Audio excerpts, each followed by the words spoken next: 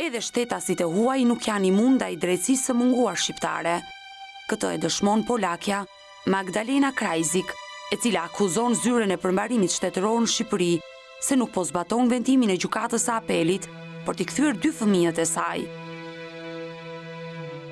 Magdalena e martuar me një shtetas shqiptar, prej gati 10 vitesh në Amerikë, pas problemeve të këtij të fundit, vendosi të linte gjithçka dhe të shkonte fillimisht në Poloni dhe pastaj në Shqipëri së bashku me të.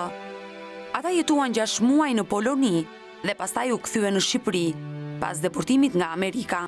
Kur erdhën në Shqipëri, burri i saj ndryshoi nga opinionet e miqve dhe influenca e familjes dhe u bë një tjetër njeri. Magdalena qëndroi në Poloni, pasi nuk kishte leje qëndrimi për në Shqipëri, por ai premtoi që do të kthehej në Poloni në shkurt. por nuk e bëri kurrë. Por pas disa kohësh, ajo u gjend përballë kërkesës nga bashkëshorti për divorc.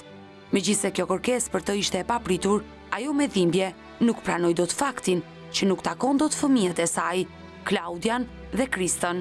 Sipas saj, psikologja dhe bashkëshorti i kanë kundërvënë fëmijët, duke i nxitur kundra nënës, gjë që për të është e paimagjinueshme. Ajo deklaron se është përballur dhe me dhunë dhe me shoqërim në polici, vetëm për të parë dhe të takuar fëmijët e saj, por thekson se megjithëse gjykata është shprehur me dy vendime të formës së prerë, prej dhjetorit të vitit dy mijë e katërmbëdhjetë, përmbarimi nuk po ekzekuton vendimin për rikthimin e fëmijëve pranë nënës. Magdalena tregon se në njëzet e katër dhjetor të vitit dy mijë e katërmbëdhjetë, Gjykata e Shkallës së Parë vendosi që fëmijët t'i marrë ajo. Ish-bashkëshorti e apeloi këtë vendim, por dhe Gjykata e Apelit vendosi po njësoj, që fëmijët duhet të jetojnë me nënën, babain ta takojnë në fundjavë. Ish-bashkëshorti kishte dhjetë ditë afat të kthente fëmijët vullnetarisht tek nëna, por nuk e bëri dhe sipas ligjit, Zyra e Përmbarimit Duhet të njoftonte policinë, por as kjo e fundit nuk e bëri.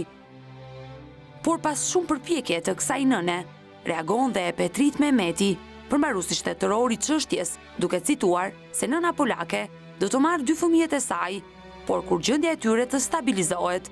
Sipas përmbaruesit, gjendja emocionale e fëmijëve është e rënduar, saqë nuk pranojnë të qëndrojnë as në zyrë e jo më të shkojnë me nënën e tyre.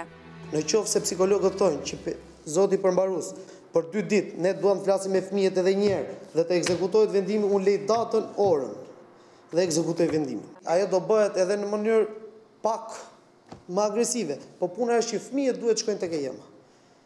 Domethënë, jo të ketë atë reagim që kemi pasur dy herët e shkuara. Shtetësja polake Magdalena dhe ish-bashkëshorti i saj prej kohësh janë përfshirë në procese gjyqësore, pasojat Duket se kanë rënë mbi dy fëmijët e mitur, të cilët përjetojnë një gjendje të vështirë emocionale. Por sido që të jetë, kjo nënë po vuan dhe e ndjen shumë mungesën e dy fëmijëve të saj të dashur.